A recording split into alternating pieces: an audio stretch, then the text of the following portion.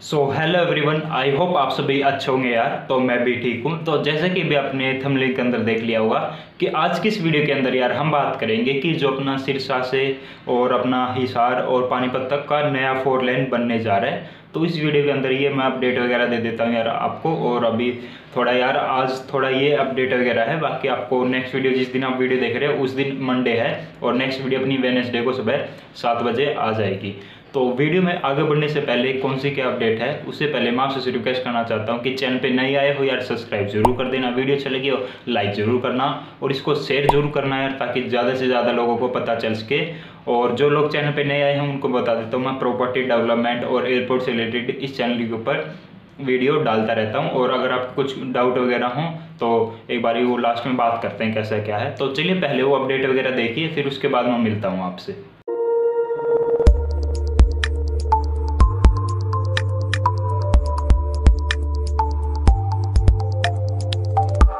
अभी मैं आ गया अपने मोबाइल स्क्रीन के ऊपर तो कौन सी क्या अपडेट वगैरह निकल के आई है हमारी जो रोड की है तो वो हम बात करते हैं। तो उसके लिए मैं गैलरी ओपन करता हूँ और वहाँ पे मैं डिस्कस करता हूँ।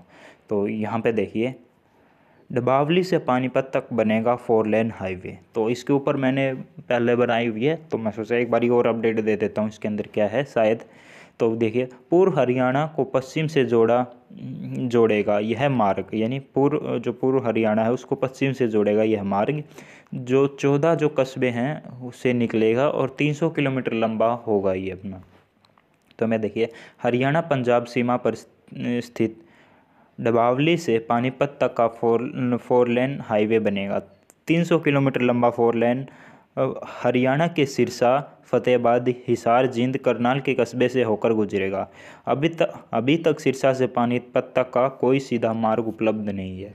यानी जो सिरसा से है, अभी पर जो पानीपत तक का है, वो अभी कोई सीधा रास्ता नहीं है तो ये अपने हिसार के अंदर से गुजरेगा। फतेहाबाद और जींद, करनाल से होकर ये कस्बों से गुजरेगा यहाँ पे। तो यहाँ पे देखिए, ऐसे में इस हाईवे के बनने से सिरसा के लोगों को कनेक्टिविटी सीधा पानीपत और उससे आगे यूपी तक हो जाएगी। तो अगर जैसे ही हाईवे बन जाता है तो जो सिरसा के लोग हैं, उनकी कनेक्टिविटी है, जो पानीपत और यूपी के साथ हो जाएगी। यह फोर लेन मार्ग हरियाणा के पूर्व छोर और पश्चिम छोर से सीधा जोड़ेगा। यानी जो हरियाणा का पूर्व छोर है और पश्चिम जो है, वहाँ से इसको जोड़ देगा। इसके लिए जो है, वो अस्सी लाख रुपये की डीपीआर स्वीकृत हुई है। यानी अस्सी लाख रुपए की जो है, वो डीपीआर कभी तय की गई है इसकी। तो यहाँ पे देखिए, इन कस्बों से होकर गुजरेगा फोर लेन अब फोर लेन की मैं बात कर लेता हूँ, कहाँ से क्या गुजरेगा? तो फोर लेन डबावली कानवाली रोडी, सादुलगढ़ हासीपुरा रतिया, भुना और यहाँ पे आप देख सकते हो यार, एक बार ये गाँव के नाम थोड़े अजीब से हैं, फिर आप वो हो जाएगा प्रोनाउंस में तो आप यहाँ पे देख सकते हो। बाकी जो अपने इशार और शीशा वहाँ से तो गुजरेगा ही गुजरेगा। तो अब यहाँ पे देखिए, राजस्थान और पंजाब के लोगों को भी होगा फ़ायदा। अब जो राजस्थान और पंजाब के लोग हैं, उनको भी फ़ायदा होगा। डभावली पंजाब और राजस्थान की सीमा पर हरियाणा के सिरसा ज़िले का अंतिम उपमंडल है। राजस्थान और पंजाब से पानीपत जाने के लिए कोई सीधा मार्ग नहीं है। इस मार्ग के बनने से हरियाणा के साथ साथ पंजाब व राजस्थान को भी फ़ायदा होगा। सिरसा के चौटाला गाँव तक बनना बनना है। यानी जो सिरसा का जो जो चौटाला गाँव है, वहाँ तक बनेगा ये तो इसे अपना राजस्थान और पंजाब को भी फ़ायदा हो जाएगा। चौटाला गाँव से आगे राजस्थान के अन्य ज़िलों को कनेक्टिविटी शुरू हो जाती है, जबकि डबावली से पंजाब के भटिंडा और श्रीमुतसर ज़िलों को कनेक्टिविटी शुरू होती है। मुतनसर सॉरी ज़िले की कनेक्टिविटी जो है वो स्टार्ट होती है यहाँ पे।